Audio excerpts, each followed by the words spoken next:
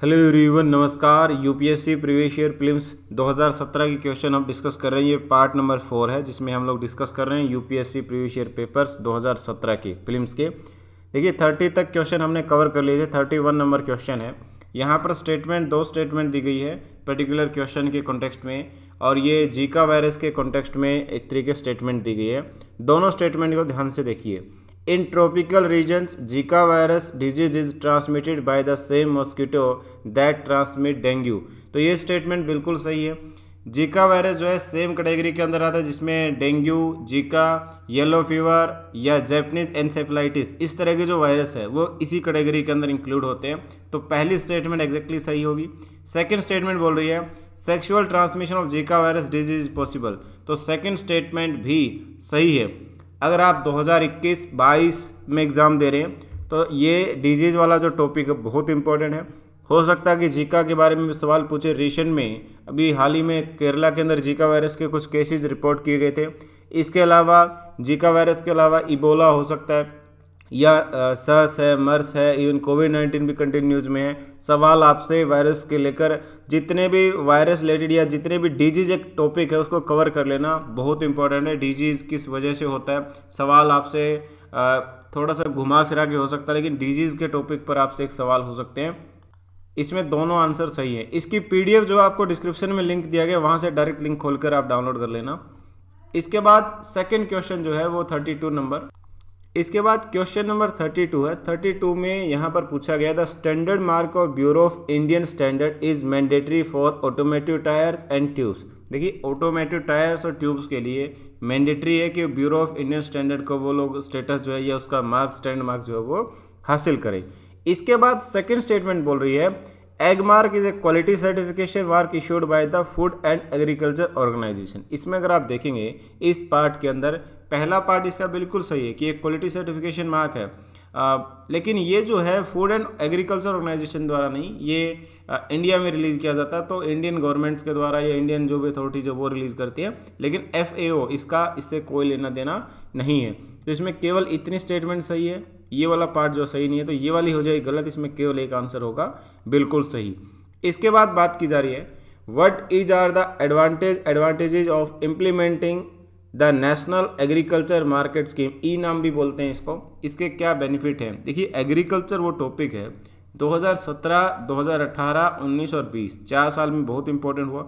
2020 में भर भर कर सवाल पूछे गए।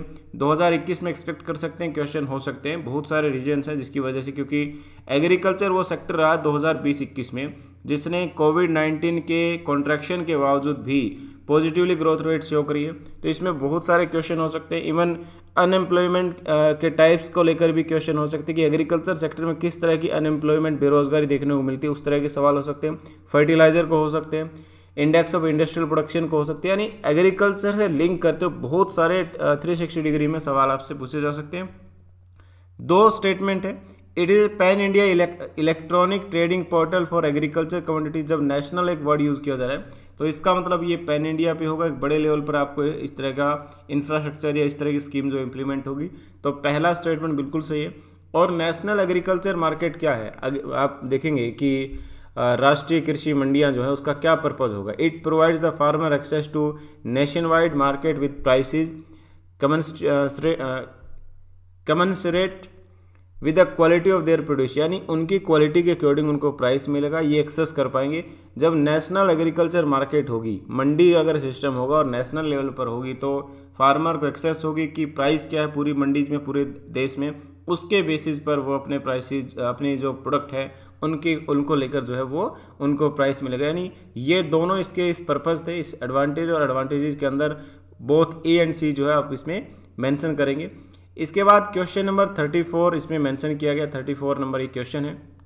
क्वेश्चन क्या है? With reference to the national intellectual property rights policy consider the following statement it reiterates India's commitment to the Doha development agenda and the TRIPS agreement बिल्कुल सही है, क्योंकि जो दोहा डेवलपमेंट है और ट्रिप्स एग्रीमेंट दोनों के दोनों जो है trade related intellectual property rights agreement दोनों के दोनों जो है वो इंटेलेक्चुअल प्रॉपर्टी राइट पॉलिसीज़ के अंदर कंसिडर की जाते हैं। दूसरा यहाँ पर बात की जा रही department of industry policy promotion is a nodal agency for regulating intellectual property rights in India ये स्टेटमेंट भी सही है। दोनों के दोनों स्टेटमेंट सही है। देखिए 2021 के अंदर भी ये न्यूज़ में रहा था। क्यों? मैं आपको बता दूँ।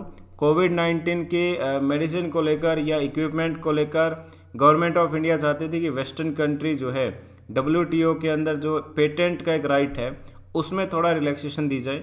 इस चीज़ को लेकर आपसे सवाल हो सकते हैं। इवन इंटेलेक्चुअल प्रॉपर्टी राइट के में आप देखेंगे पेटेंट है कॉपीराइट है ट्रेड सीक्रेट है, या जोग्राफिकल इंडिकेशन है, इस तरह की चीज़ें आपको देखने को मिलेगी। आपसे डब्ल्यू के टीओ के बारे में सवाल हो सकता है। डब्ल्यू में इवन एग्रीकल्चर से भी रिलेट करके पहले भी हुआ है। एम्बर बॉक्स ब्लू बॉक्स इस तरह की जो सब्सिडीज होती है, उसको लेकर भी सवाल हो सकता है। तो इनको लेकर आपको रेडी रहना पड़ेगा 2021 में खासकर। आंसर दोनों सही हैं 34 में कोई प्रॉब्लम नहीं है। इसके बाद 35 नंबर क्वेश्चन है। इसमें मेंशन किया गया according to the wildlife protection act वन्यजीव संरक्षण अधिनियम उन्नीस सौ बहत्तर के अकॉर्डिंग किन एनिमल्स को आप हंट नहीं कर सकते? और इसमें प्रोविज़न इस लॉ के अकॉर्डिंग किन एनिमल्स को इंक्लूड किया गया है, ये मेंशन करना है। तो इसमें जो तीनों दिए गए हैं, घड़ियाल Indian wild wildlife wild buffalo तीनों के तीनों को आप जो है हंट नहीं कर सकते, उनका शिकार नहीं कर सकते। क्यों? देखिए 1972 में कई सारे शेड्यूल आपको देखने को मिलेगी। इसमें जो फ़र्स्ट एंड सेकंड शेड्यूल है, ये रिस्ट्रिक्टेड की गई है। इसमें आप बिल्कुल भी हंट नहीं कर सकते। और फ़र्स्ट एंड सेकंड शेड्यूल इनके बारे में ज़रूर एक बार इनकी लिस्ट को देख लेना कि मेन मेन कौन से इसमें एनिमल्स या बर्ड्स इंक्लूड किए गए हैं, ताकि आपको पता रहे कि ये इंपॉर्टेंट है। खासकर मैं अगर शेड्यूल वन और टी टू में से आप दोनों शेड्यूल नहीं देख पाते हो तो केवल शेड्यूल वन ज़रूर पढ़ लेना। इंपॉर्टेंट है कहाँ कहाँ पर एक तरीके से जो वाइल्ड लाइफ है, कहाँ पर वो सिचुएटेड है, किस एरियाज़ के अंदर आपको देखने को मिलेंगे। क्वेश्चन जो अगर आप देखेंगे जो बायोडाइवर्सिटी के अंदर सवाल होते हैं, सवाल इसको लेकर होते हैं, डायरेक्ट क्वेश्चन तो वन, टू, थ्री इसमें तीनों के तीनों सही हैं।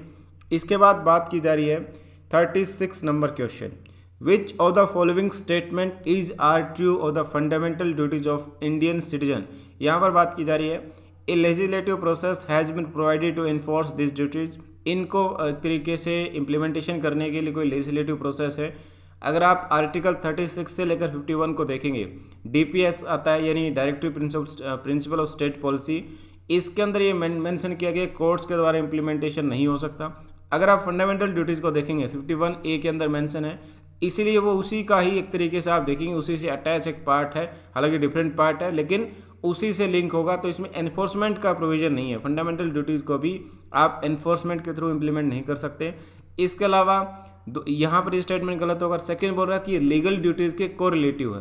देखिए लीगल ड्यूटीज़ का मतलब क्या होगा? आपको फॉलो करना पड़ेगा अदरवाइज़ आपके अगेंस्ट जो है लीगल एक्शन होंगे। लेकिन यहाँ पर फंडामेंटल ड्यूटीज़ में ऐसा नहीं है। हालाँकि कुछ लॉज के द्वारा फंडामेंटल जो ड्यूटीज़ के अंदर कुछ कंसेप्ट मैंशन है, उनको गवर्नमेंट इंप्लीमेंटेशन कर सकती है। लेकिन ये फंडामेंटल ड्यूटीज़ में जो मैंशन किए गए हैं, वो लीगल ड्यूटीज़ के को रिलेटिव नहीं है। ये ध्यान रखना। यहाँ पर जो स्टेटमेंट दी गई है इन स्टेटमेंट को ध्यान से पढ़ेंगे और अपने आंसर को करेंगे। ज़रूरी नहीं कि आपको क्वेश्चन के बारे में पता हो या इसके बारे में एग्जैक्टली इन्फॉर्मेशन हो। स्टेटमेंट को दो तीन बार ध्यान से पढ़ना क्वेश्चन की पॉसिबिलिटी होगी कि आपका करेक्ट होगा। प्रैक्टिस करें और प्रैक्टिस आप टेस्ट सीरीज़ के थ्रू या प्रीवियस ईयर पेपर के थ्रू कंटिन्यू करते रहिए। इसके बाद क्वेश्चन नंबर थर्टी सेवन दिया गया है। इसमें तीन पर्सनालिटी उनका अटैचमेंट पूछा गया, किस ऑर्गेनाइजेशन से उनका कहीं ना कहीं रिलेशन था। तो इसमें जो तीन व्यक्ति दिए गए पहला अगर आप थर्ड स्टेटमेंट से देखेंगे सुरेंद्र नाथ बनर्जी जो है फाउंडर रहे इंडियन एसोसिएशन के तो ये बिल्कुल सही है राइट तो इसमें से ऑप्शन नंबर ए जो है वो कट हो जाएगा, क्योंकि इसमें तीन इंक्लूड नहीं है। सेकेंड आप देखेंगे, गजूल गजूलू लक्ष्मी लक्ष्मी नाराशु चेट्टी, इनका नाम थोड़ा जी एल चेट्टी बोल सकते हैं। ये क्या फाउंडर थे मद्रास महाजन सभा के? तो ये स्टेटमेंट सही नहीं है, क्योंकि मद्रास महाजन सभा 1884 के आसपास जो है, एक तरीके से फाउंड करी गई थी, लेकिन इनकी डेथ ही 1868 या 64 के आसपास हो गई थी। तो ये इससे रिलेट नहीं है सेकंड नहीं आएगा, यानी थर्ड आएगा, लेकिन सेकंड नहीं आएगा तो केवल इसमें ऑप्शन नंबर बी बचेगा। भले ही आपको इनके बारे में राधाकांत देव के बारे में पता हो, नहीं हो, उससे कोई फ़र्क नहीं पड़ेगा। आंसर आपका ऑटोमेटिकली सेकंड हो जाएगा, जिसमें वन एंड थ्री जो है बिल्कुल करेक्ट आंसर होंगे। लेकिन ज़रूरी है कि ये जो एसोसिएशन है, जितने भी ऑर्गेनाइजेशन है, जितने भी इंस्टीट्यूशन है, चाहे वो प्री कांग्रेस हो या आफ्टर कांग्रेस हो मेजर मेजर इंस्टीट्यूशन उनके फाउंडर के बारे में ज़रूर पता हो क्यों ऑर्गेनाइज की गई थी, कब ऑर्गेनाइज कब जो फाउंड करी गई थी, ताकि मैचिंग में अगर कोई क्वेश्चन आता है तो उसको hundred and one percent tick किया जा सके। इसके बाद क्वेश्चन नंबर थर्टी एट है और क्वेश्चन नंबर थर्टी एट मैं कहूँगा कि आसान सा एक सवाल है, क्यों?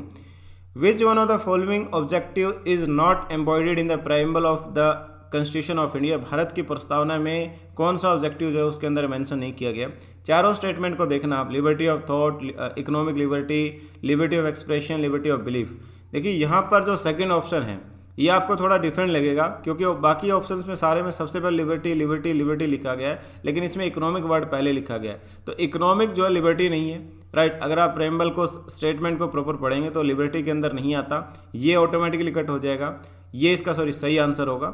ये बाकी तीनों तो मेंशन है, ये इसके अंदर लिबर्टी के अंदर काउंट नहीं होता तो इसमें आंसर भी आ जाएगा। वैसे भी आप देखेंगे, इसमें अलग तरीके से आपको इसमें रिवर्स स्टेटमेंट दी गई है। तो ये एक सेपरेट भी नज़र आता कि ये सही सही होने की पॉसिबिलिटी ज़्यादा है। यानी ये भारत के संविधान में ऑब्जेक्टिव्स के अंदर इंक्लूड नहीं किए गए।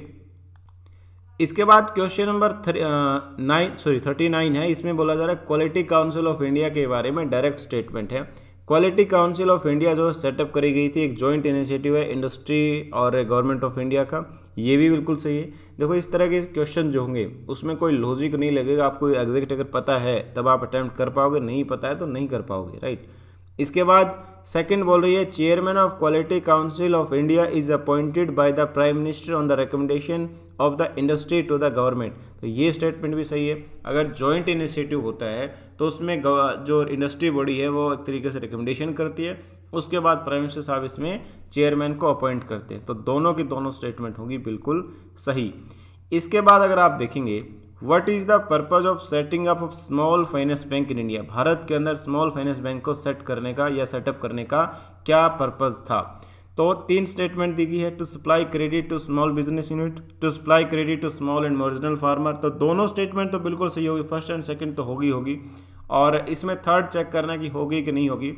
अगर आप आर में लिखेंगे ऐसे स्मॉल फाइनेंशियल बैंक लिखेंगे और इसके बाद लिखेंगे आरबीआई तो उसमें आरबीआई की क्लियर गाइडलाइंस है, और उसमें जो थर्ड स्टेटमेंट दी गई है to encourage young entrepreneurs to set up business particularly in rural area तो वहाँ पर एंटरप्रेन्योर वर्ड यूज़ नहीं किया गया, और यहाँ पर आप देखेंगे, अगर ये होता कि कोई स्मॉल एंटरप्रेन्योर्स को सपोर्ट करना, उस तरह की चीज़ें होती, थोड़ा बहुत लॉजिकली लगता है कि सही हो सकता है, लेकिन यहाँ पर यंग एंटरप्रेन्योर एक वर्ड यूज़ किया गया कि वो बिज़नेस सेट कर रूरल एरिया के अंदर आपको क्लोज लगेगा, लेकिन ये जो ऑफिशियली सही नहीं है। और 2017 में सवाल पूछने के पीछे एक मकसद ये था कि 2016 में डिमोनेटाइजेशन के बाद बहुत सारे फाइनेंशियल इंस्टीट्यूशन को लेकर न्यूज़ में रहा था। आरबीआई का एक इम्पोर्टेंट रोल रहा था। तो आरबीआई के जो मेजर डिस्कशन है या मेजर एक तरीके से जो इस तरह के पर्पज़ के बारे में ऑब्जेक्टिव्स के बारे में जब भी इस तरह के जो स्मॉल फाइनेंस बैंक होते हैं माइक्रो फाइनेंस बैंक होते हैं, इसके बारे में ज़रूर आप उसको आरबीआई से ऑफिशियली उसके ऑब्जेक्टिव्स को पढ़ लीजिएगा। ऑब्जेक्टिव पढ़ने से क्या होता है कि क्वेश्चन में ऑब्जेक्टिव पूछे जाते हैं या मिशन के टारगेट पूछे जाते हैं पर्पज़ पूछे जाते हैं, वो ज़रूरी है ताकि क्वेश्चन को हंड्रेड वन परसेंट जो है करेक्ट किया जा सके। तो आज का ये छोटा सा वीडियो था। उम्मीद करेंगे आपको पसंद आएगा। और आने वाले जो क्वेश्चन है, उसको कंटिन्यू हम लोग करते रहेंगे। थैंक यू ऑल जय हिंद।